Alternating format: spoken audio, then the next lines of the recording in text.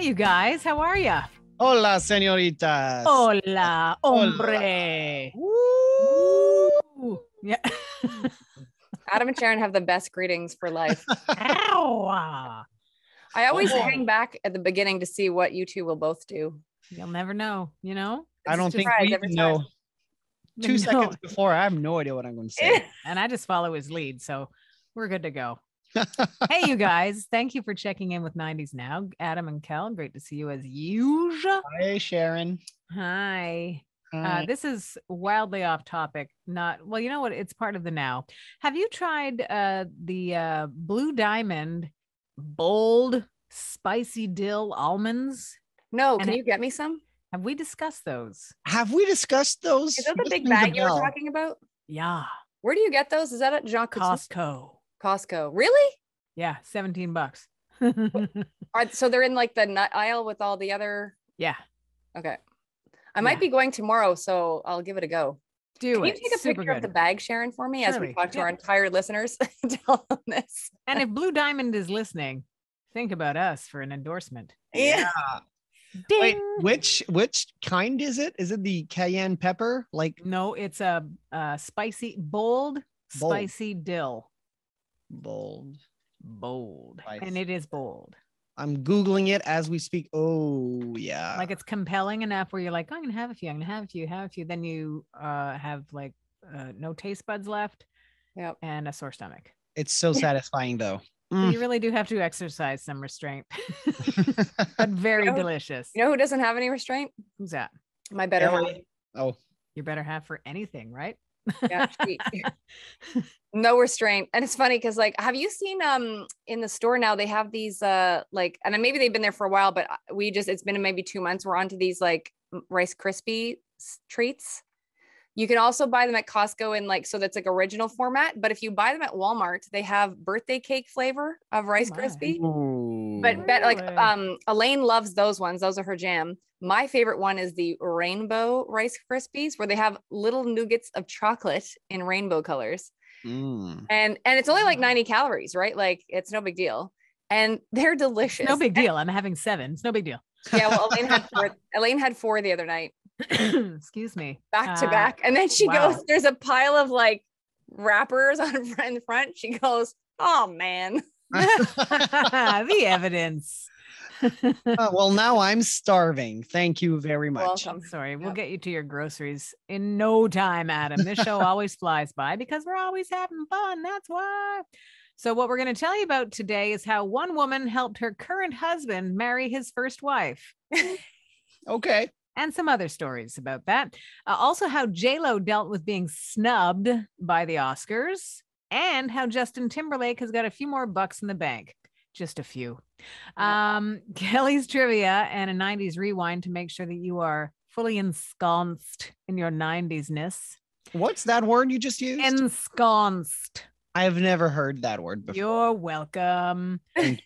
Thank I love that you're sing-songing the lesson today, Sharon. yes.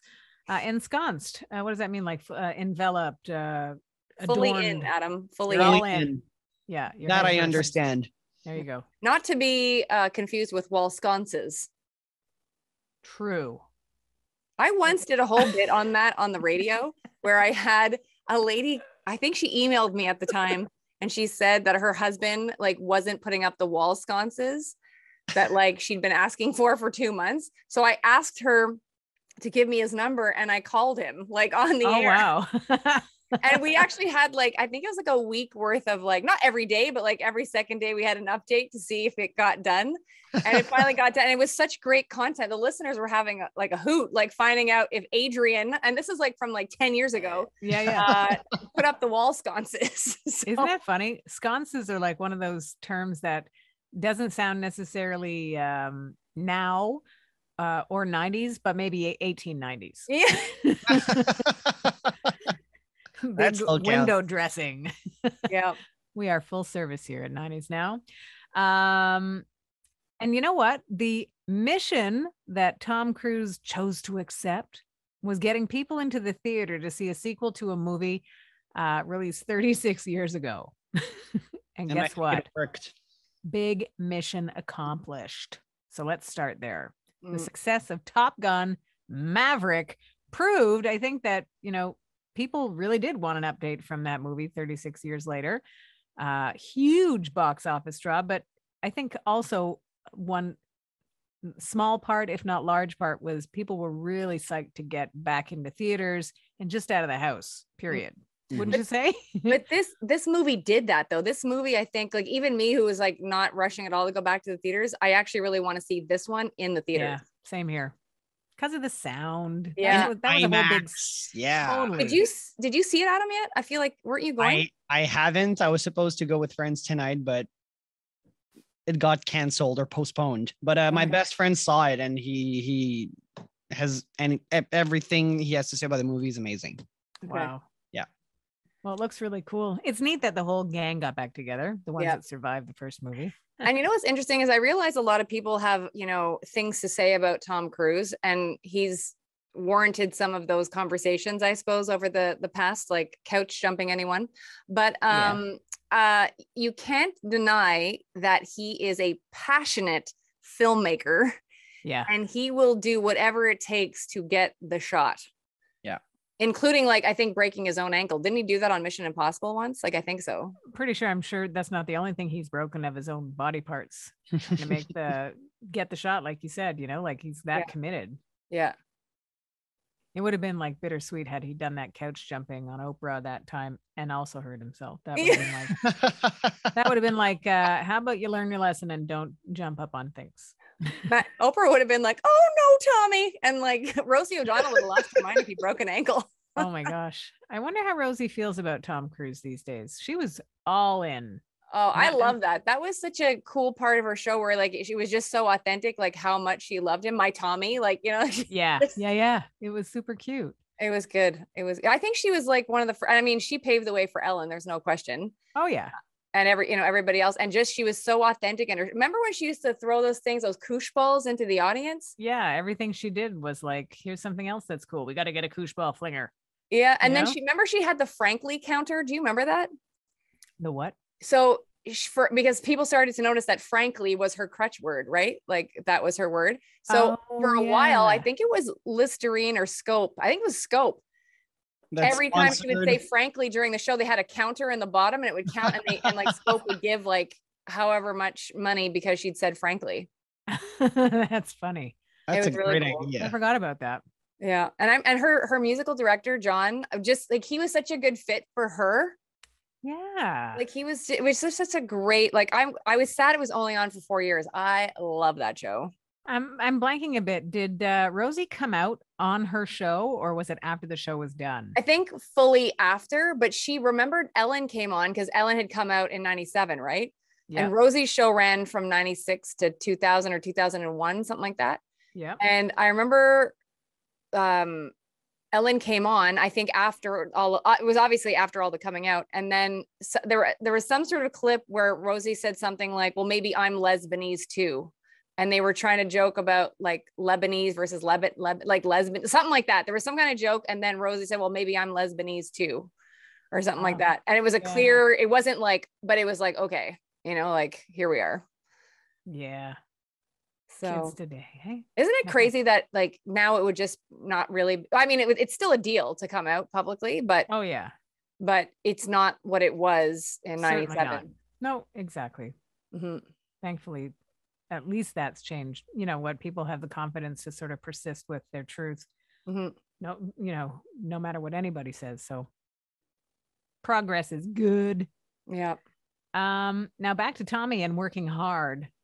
Like I think that Tom Cruise was ready physically for the making of this movie. Uh, but it was uh pretty intense training for the cast too, which uh which I think might have been a bit more difficult on them. But he was saying that uh, in making movies, you're constantly learning. You have to constantly work to become more and more competent in many different fields. Um, so he says, You've got to work. It's not a bunch of parties and doing that. And that's what I love. I don't work. think everybody. I mean, there, I think there's a um a perception for some elements of Hollywood where it's always glitz and glam, and I think there are people that that's what they focus on as being more famous than their art. But Tom Yeah. is not Tom is not that, you know, and there's many other actors that are not that. That it comes, you know, I think they have to play the game to get, you know, the box office numbers and all that sort of stuff. Mhm. But like for Tom, he just he clearly loves making movies. Like he clearly loves Yeah. it. Yep. And there's many other actors obviously that feel the same, like Forest Whitaker, you know, like um Tyler Perry, like all these people love making movies. Interesting that you would pick Forest Whitaker. Is he not also a Scientologist? Is he? Forest Whitaker? Do you hear my voice? I do. That's funny. Is he can't be really? Well, why not? I just feel like I would have heard about that before. You're Like, I don't- about I don't- here. I don't think I've ever heard his name and that. Let's check. Well- I really don't think Tyler Perry's a Scientologist. On a 2018 article from popculture.com, uh, it says Patrick Swayze and Forest Whitaker are among many of the Hollywood elites turns to Scientology uh, recruits by Travolta. Mhm. Good for you, Sharon. I had no clue. Zero. Zero clues. You know what? We're better off not knowing. Scientology, in my opinion, is uh is uh, cuckoo. And I think to Tom Cruise's credit, however high up in the rankings he is within that religion, uh, we haven't heard a lot about that in the past few years, Oh my God, he's gone. He's gone radio silent on that. which he always did. He never talked about it. Yeah. Never. Mhm. And and uh, no one was el- no one else was allowed to ask him about it either. So we talk about it here. That's the kind of podcast we have. That's how we roll. or we carry on, move on, and do uh, something more fun like uh, trivia. Yes, please. 90s. Now, trivia. Bing bong. Bing bong. You ready? Uh, born ready. Okay. We're going back to the news and politics funky blue color. Ooh. Uh-oh. I like us to pretend that we're smart. You know what I mean? so, al- although Adam did, because he's learned all the schooling from the 90s. Right, Adam? I They didn't teach had- me anything about the 90s when I was in school in the 80s. I almost had two questions right last week. You almost did. Didn't Sharon beat you to the punch on one of them? Yeah, Yeah. Sh- yes, yeah, she did. Shaquille O'Neal. That was it. Um, by the way, Shaquille O'Neal's ex, Shaunie, got married last weekend. Wow. um in like Anguilla or something. And I think I Oh. like I I I'm saying it with confidence, even though I'm not exactly sure. I think he actually said in a recent interview, Shaquille, that he has like nothing but respect for her and like he didn't I don't think he rose to the level of of where she rose to the level during their marriage. Hmm. You know, and he because I think she's the mom of like all of his kids. So he has nothing but respect for her. And I think they're I think they're good. Like I think they're good, you know, like it's been a while since they've been broken up. So yeah. Well, good for her. Yeah. Uh, here we are. So, which political writer and director's work includes TV Nation and The Awful Truth? Sharon, Go, Sharon. Michael Moore. Yes.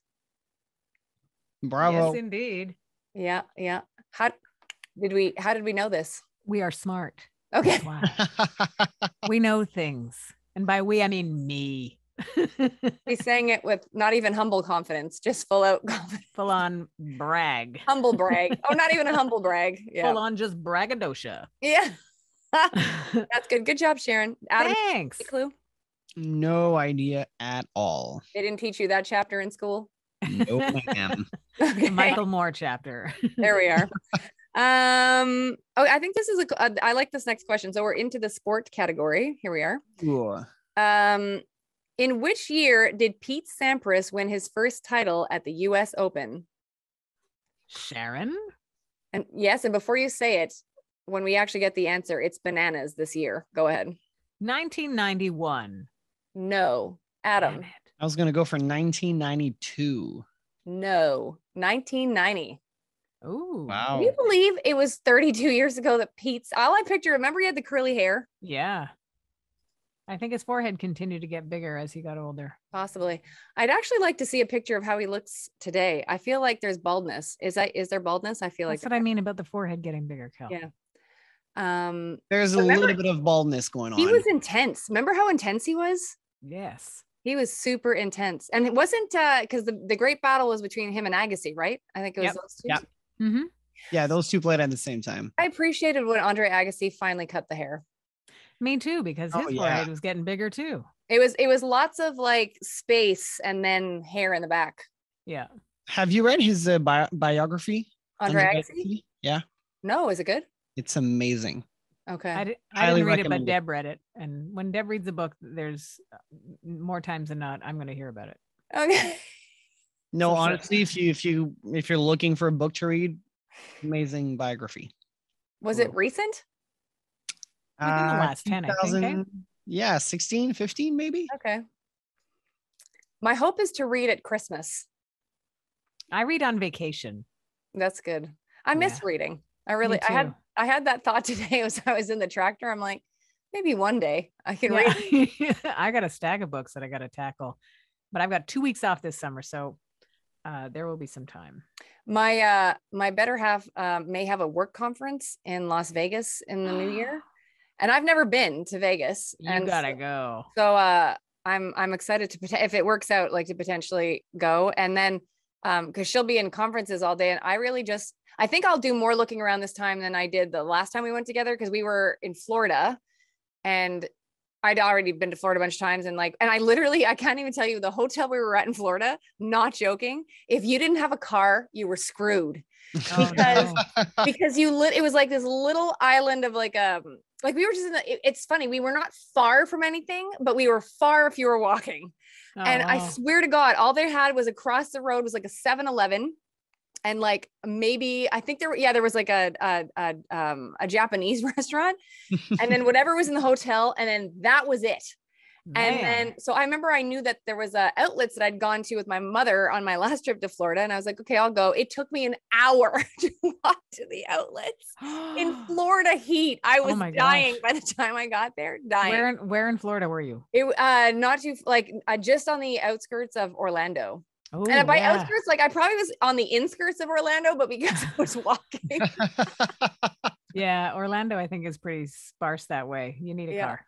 But it was so crazy because I couldn't believe like how far I was from everything. And we didn't rent a car because we were only going to be there for three days, and she was going to be mainly in business stuff. So I so I literally just I read like three books by the pool, and that was fine. Yeah. But I think if, if we go to Vegas, I'll venture out. But I, I I have no problem sitting there for five hours reading a book. Like I'm good. Vegas is very walkable, though there are spots where you would need to maybe grab a cab or an Uber or something and and get to like old Vegas. So you can see that setup, which is pretty cool. Okay. Uh, but it's designed to have people on foot. There's so much um well, drinking and like people are there not just to have a calm vacation. You know, they're going to Right. Vegas to have fun and you can walk around on the sidewalks with your cocktail and I just want to see all the all night buffets and Oh, count how many there are. I am so hungry. Stop talking about food, please. Well, why don't we talk about uh, wedding jitters? 'Cause that that won't soothe your appetite at all, but because then you got to think of the cake and the spread. But anyways, um, the wedding jitters that went to the groom when it came to Bobby Brown on his wedding day to Whitney Houston. Okay, this is part another little highlight of uh, the documentary. His documentary was it A and E that that's on? yeah, and funny enough, so it's airing. The second part is tonight, right. And I forgot to tape night one, but Uh-oh. thankfully A and E, when they're on to something, they run it 19 million times. Yeah. They're good that So- way. So I've already been able to like set the the. So funny enough, it starts at eight o'clock our time tonight, uh, but at seven o'clock they're rerunning last night's first part. Oh, okay. Yeah. Well, cool. The story is that uh, back on wedding day 20 years ago, he locked himself in the bathroom, questioning whether or not he was good enough. And what better resources to help determine those insecurities than good old booze and drugs? Oh, man. Yeah, he was doing a lot of that. He says he was in there drinking, smoking, sniffing, uh, being his stubborn little self. But then it was the uh, I don't remember if she was the wife or the girlfriend of his buddy at the time, who is now his current wife, who talked him uh, down from his perch, but ultimately out of the bathroom. Uh, as part of uh, a long list of stories told in this documentary on A&E. Crazy Bobby Brown. Can you imagine though, knowing that you're gonna be marrying Whitney Houston, and like you're gonna hang out in the bathroom because you're scared beyond words? yeah and i think of like uh whitney houston's mother if bobby brown is questioning whether or not he was good enough i see Cissy Houston going, You were not Yeah. good enough. you know? Oh, you don't Ah. play. You do not play. You do not play with Dionne Warwick. oh Mm-mm. man. No kidding. That's Can you awesome to watch. They're all sitting there in the front row like this, Yeah. Eyebrows up. eyebrows, arms crossed, disapproving looks going on. Oh yeah. It's classic. yeah, yeah. Um, now for a guy that obviously needed uh, a little bit of help in the finance department, Justin Timberlake, I couldn't carry on with the straight face. Um, well, he's sold out, really, but like in the best possible and most literal way. He sold his catalog of music for I'll give you the drum roll, you give the amount of money. Valued at around one hundred million dollars. A hundred million dollars. Here's a thought though, Sharon. Tell me if you're if you think I'm. I actually think it's a bit low for him Uh probably because didn't like Dylan or whatever like didn't they get like three hundred million? Some of these yeah, but cats when was that? like in the last three or four years, not Yeah. even two years. Like it's been the last two years that all these Bob Dylan did it, Bruce Springsteen did it, Neil Young did it. Stevie Nicks. But I mean, these guys have 50 years of music. That's the only reason that I can reconcile with it because Justin, I was reading the stats, has so he, it's 200 songs that are is up for grabs in this deal that he either wrote or co-wrote, like Right. "Sexy Back," "Can't Stop the Feeling," obviously "Suit and Ties" in there, like just the list goes on, right? Yeah. So that's and then he's had like 40 singles that have been released. So I actually think the number's low, even though he is obviously probably 30 years younger than uh, Bob Dylan or whatever. For sure. But you know what's interesting is I recently listened to a podcast with uh, that the guest was Ryan Tedder, the lead singer of OneRepublic, and obviously who is written for everybody, Yeah. Adele, Beyonce, like the list goes on, and probably Justin Timberlake too. Um, he has sold his as well, and there's so there's a list of younger ones that have done it now. So he's doing it. Um, uh, Bruno Mars has already done it. Shakira has already done it, Wow. and it was interesting because at first I'm like, why would you part with this so like Soon. early on, right? But I love are they Ryan's losing attitude. money? Yeah, well, it's a lot of money, but Ryan actually said he's viewing it as now like he's starting over, which I thought was like that's incentive, right? Like he wants to keep killing it. So, you know, he's going to get his chunk of change from whatever. Cause I'm also certain he's got a bo- bucket load of money because of all the songs he's written for other people. Oh, So that's yeah. OneRepublic. But he's like viewing it as like, okay, no, like I'm starting from scratch. I got to hustle. I think that's a great attitude. Imagine though, he's got to hustle. He's got millions and millions and millions of dollars, but he's got to hustle. He's just committed to his craft. Got to appreciate that. Yeah. Um, what I, I loved one of the lines that the uh, company that he sold the uh, the music to said, "This is the beginning of what we believe will be an incredible relationship, important to us all." no kidding.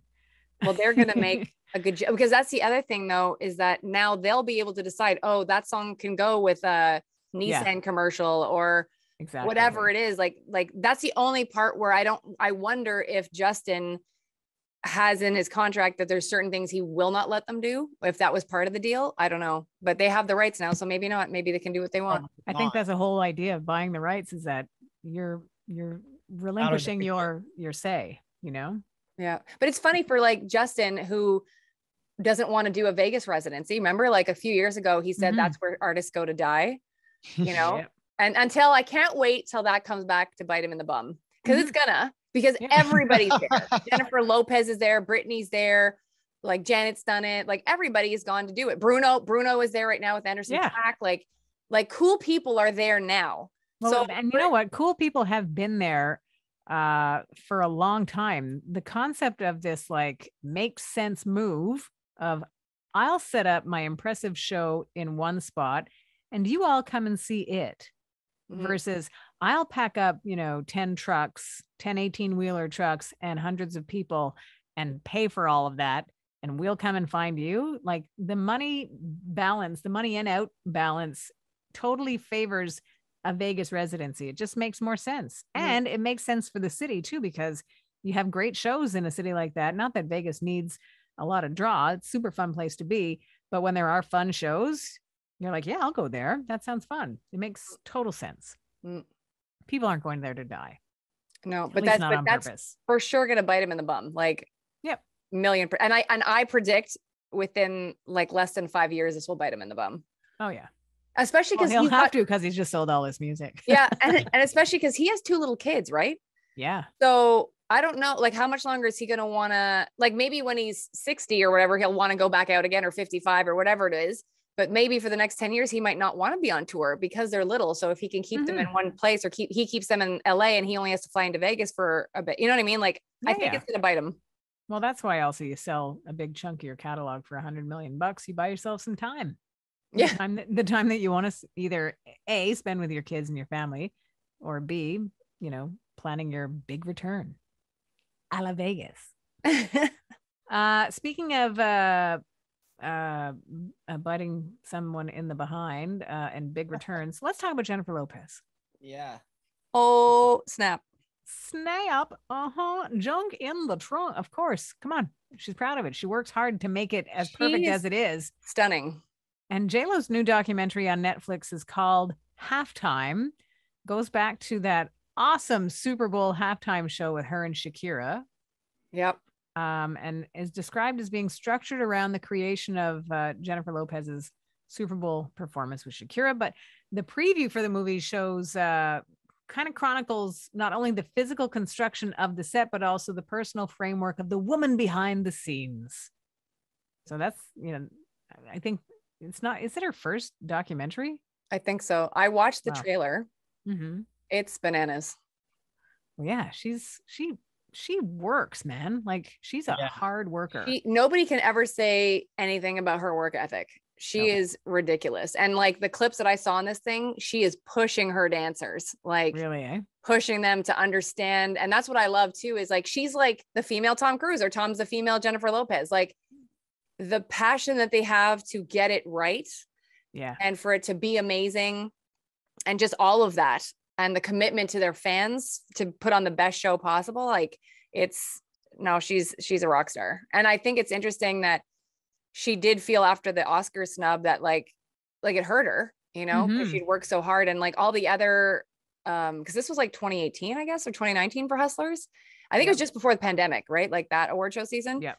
and like she uh you know, God, I think I believe there was a Golden Globe nomination. Like there was a bunch of nominations, but she didn't get the nomination from the Oscar or Mhm. for the Oscar. And like that's when you get kind of suspect. You're like, what kind of games are we playing here? Like Exactly. because like Tom Cruise has never won an Oscar. He's been nominated three times but never won. Like Brad Pitt, same same deal. I you think if we're if we can go back to the Scientology angle for a second, I think that they have such a strong hold on the business with regard to how things are done that this is the only way the business can then say, you know, no, you don't control everything. Oh, okay. Do you know what I mean? And it just proves that awards show shows are just sort of glad handing uh, and an, another way to sort of promote movies, which is great. And ultimately, it, it gives a great spotlight to, you know, really amazing performances, no question.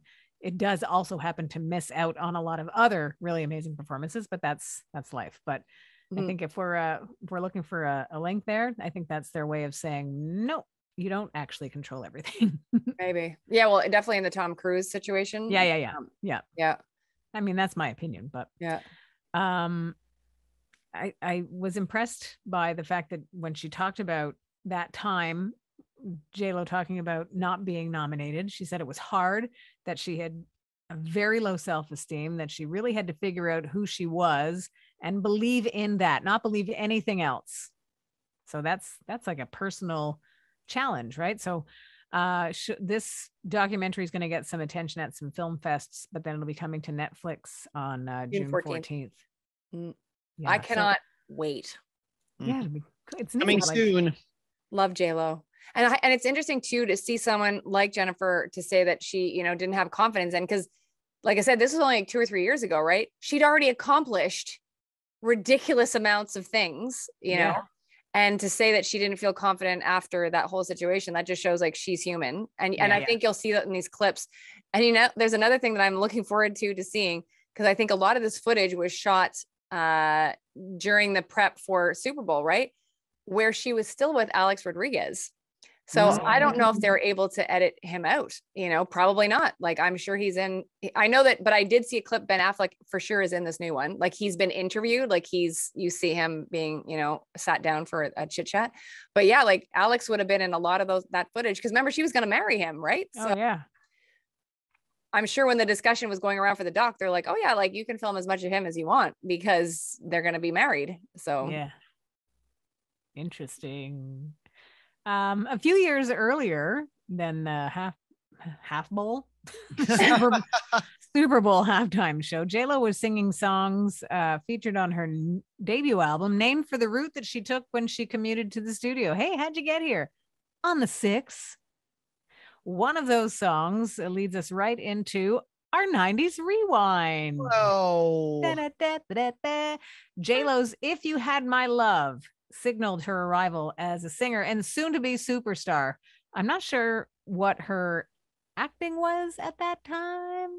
J Lo, Yeah, she She was, was dancer first, right? she was doing yeah, actor first, actress first, yeah. Actress She- first. Yeah, she left. first. She left the Janet tour because she got, I think, her first movie or her first like big role. but That's why she didn't finish the '93 Janet project.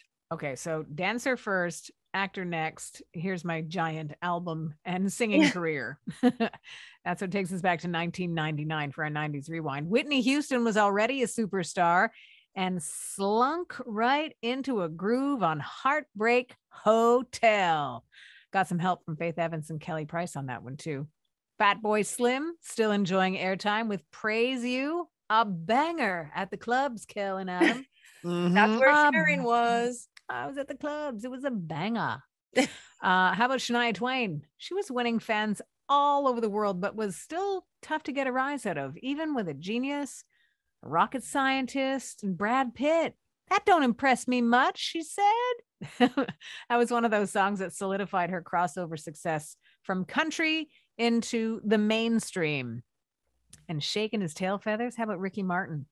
Shaking Oh. that top little behind.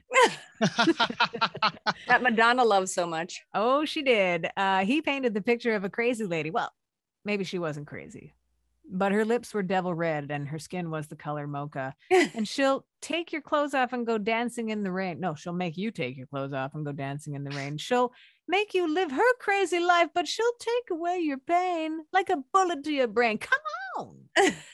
yeah, I'm talking about Living La Vida Loca. Huge hit for Ricky back in 1999. And that's you. your 90s rewind. Yeah, you're welcome. And a shout out to our good buddy Tina Landon who choreographed that nice. magic. Yeah. And also Shake Your Bonbon and I believe some others. So What a great workout those songs are. oh, very good. Uh, and before you wrap up, Sharon, just a quick um, uh, listener mail update. Yes. Um, so as we talked about on the last couple episodes, we have one of your radio listeners who has uh, joined us on the visual podcast fun, uh, Carolyn. Hi, Carolyn. And so she just wrote a really sweet message that I wanted to surprise you with, Sharon. She said that she Ah. actually had an, an operation uh, last year and it was a difficult journey to get through all of that. And she said uh, it was a, you know a very challenging time. And I have to be honest, Sharon was a huge part uh, of getting through it with her winning personality and positivity. Ah, So I thought you should hear that, Sharon. well, I appreciate that very much. I've had uh, the great opportunity to have conversations with Carolyn, um, and and she's pointing to a time when we were, you know, elbows deep in uh, COVID stuff, and and I think we we were fortunate enough to be told by our listeners that uh, that we were making connections as we always try to do when we're broadcasting. You sort of imagine that people are listening, and you hope that they are. Um, but we were reminded that you know there was a real human element, not only to the people listening, but that I think it sort of changed our own perspective on how we delivered. So it's uh it's an honor to hear that. Thank you very much. Good job, Sharon. Thanks, Kel. Bravo. Thanks, you guys. Yeah. How about uh how about we thank everybody for listening and for watching? And I apologize for my hair. I can see what it looks like now. I just didn't have time to make it better. hide behind the microphone. I think you're having a okay. great hair day. It's like, Yeah. Thanks, you guys. Don't you worry. uh, we appreciate you guys very much. Truly, honestly, finding us wherever it is that you do that and then uh, passing it on to your friends and neighbors. Hey, check out this fun show called 90s Now. still happening.